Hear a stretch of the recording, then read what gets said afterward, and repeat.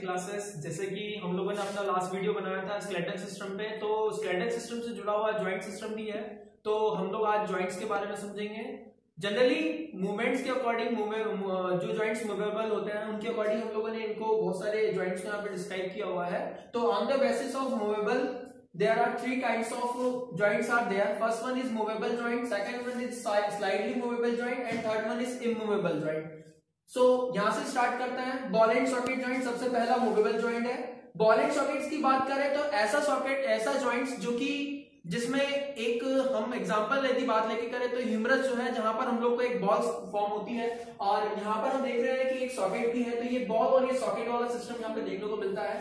तो ball and socket है जिसमें हम लोग देखेंगे कि ये कहाँ कहाँ प्रेजेंट होता है। तो ये हिप में प्रेजेंट होता है। इट मीन पेक्टोरल में पेल्विक गर्डिल में और पेक्टोरल गर्डिल पेक्टोरल गर्डिल और पेल्विक गर्डिल यहाँ पर हम देखेंगे हमारी जो बोन होती है वो थ्री के एंगल से मूवमेंट कर लेती है क्योंकि जो बॉल होती है वो सॉकेट में किस तरीके से फिक्स हो जाती है और वो पूरी तरीके से कंप्लीटली फ्रीली मूवमेंट कर, मूवमेंट करने के लिए रिस्पॉन्सिबल होती है। तो यहाँ पर हम लोग कंप्लीट मूवमेंट देखते हैं बॉल एंड सॉकेट में।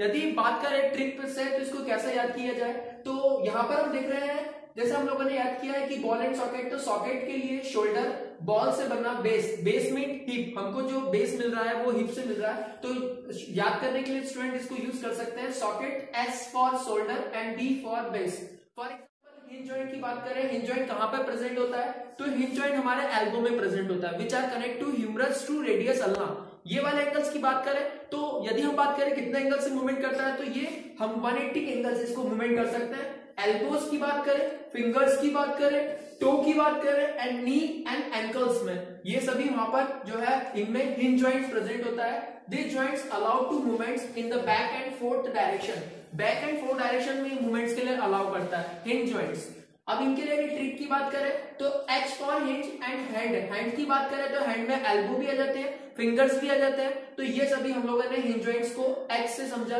कि एच सभी में कॉमन आ रहा है, जो कि हैंड्स के सभी पार्ट्स में या जॉइंट्स में कंबाइन होता है। पिवट जॉइंट्स की बात करें पिवट जॉइंट्स जो प्रेजेंट होता है, वो नेक में प्रेजेंट होता है। नेक की बात करें तो नेक में फोर आर्म्स नेक और फोर आर्म्स में प्रेजेंट होता है फोर होता है। ये फोर आर्म्स है और ये नेक वाला रीजन है। यहाँ पर हम देख रहे हैं कि हम बैकवर्ड डायरेक्शन में 90 डिग्री एंड फॉरवर्ड डायरेक्शन में 90 डिग्री का जो है इसमें फ्लेक्सिबिलिटी होती है तो इस टाइप से हम लोग उनको मूवमेंट कराते हैं। यदि ट्रिक की बात की जाए तो पीवाइट ज्वाइंट्स की बात करें तो पीवाइट मींस पी फॉर इसमें हम लोगों ने पिलो को यूज़ किया है। जनरली हम लोग पिलो को हमारी नेक को सीधी रखने के लिए लगाते हैं। तो आ, समझने के लिए या बाय ट्रिक हम लोग समझे तो पिलो मींस नेक नेक के अंदर हमारे पास जो है पीवाइट ज्वाइंट प्रेजेंट होता है इसीलिए। तो यहाँ पर भी हमने बहुत अच्छी ट्रिक बनाई हुई है ग्लाइडिंग ज्वाइंट्स में। ग्लाइडिंग ज्वाइंट जनरली प्रेजेंट होते हैं रिस्ट में। जनरली रिस्ट और एंकल्स में प्रेजेंट होता है। तो अब देख लेते हैं इसके लिए क्या ट्रिक है। अब रिस्ट और एंकल ये दो जगह ग्लाइडिंग ज्वाइंट है तो यहाँ पर हम फोकस करेंगे uncle uncles means ankle uncle rest कर लो ग्लाइडिंग करने जाना है रेस्ट मतलब रिस्ट तो यहाँ पर क्या क्या जाता है, हम बात करें एंकल्स भी हो गया और रिस्ट ये दोनों बोन्स के नाम हो गए, लेकिन ये किसकी ज्वाइंट्स की बात कर रहा था ग्लाइडिंग की तो यहाँ पर हम लोगों ने ग्लाइडिंग वर्ब यूज़ करके इसको एक ट्रिक के फॉर्म में कन्वर्ट कर दिया। प्लेन ज्वाइंट्स की बात करें तो प्लेन ज्वाइंट्स में फुट ज्वाइंट्स आता है। फुट ज्वाइंट्स एंकल ज्वाइंट होता है, जो कि प्लेन फुट्स पे यहाँ पे प्रेजेंट होता है। यहाँ पर हम देखेंगे फुट ज्वाइंट्स एंकल्स में प्लेन फुट फुट हमेशा प्लेन होता है तो हम लोगों ने इसको प्लेन ज्वाइंट से कोरिलेट किया। सैडल ज्वाइंट्स की बात करें तो सैडल ज्वाइंट्स प्रेजेंट होता है हैंड के पाम में। यहाँ पर हम बात करें तो ये हैंड के पाम में और थम में सैडल ज्वाइंट्स प्रेजेंट होता है तो हम लोगों ने इसको यहाँ पर कोरिलेट किया।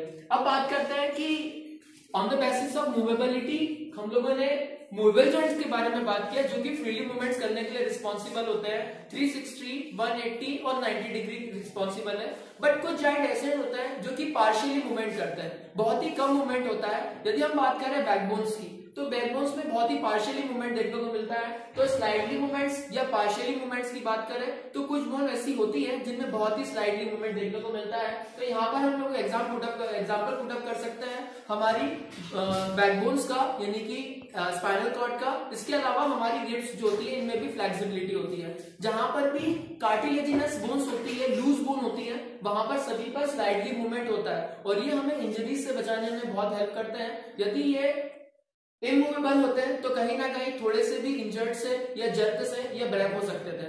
इसीलिए यहाँ पर नोज़ में ईयर्स में रिप्स में और स्पाइनल कॉर्ड यानी कि बैकबोन्स में जो है स्लाइडली मूवेबल ज्वाइंट्स प्रेजेंट होता है। Last one is immovable joints ऐसा ज्वाइंट्स जो बिल्कुल भी मूवमेंट नहीं करता, बिल्कुल फिक्स है इमूवेबल है तो ऐसे ज्वाइंट्स को हम लोग कहते हैं इमूवेबल ज्वाइंट्स जहाँ पर कोई भी फ्लेक्सिबिलिटी या मूवमेंट का एक्शन देखने को नहीं मिलता है तो हम लोग के पास दो एग्ज़ाम्पल यहाँ प्रेजेंट है। जैसे कि यहाँ पर लिखा है मैंने अपर जॉ हम लोग का हमने पहले वाले वीडियो में देखा कि हमारा मैंडिबल और मैक्सिलरी लोअर जॉ मूव करता है, कभी भी अपर जॉ मूव नहीं करता।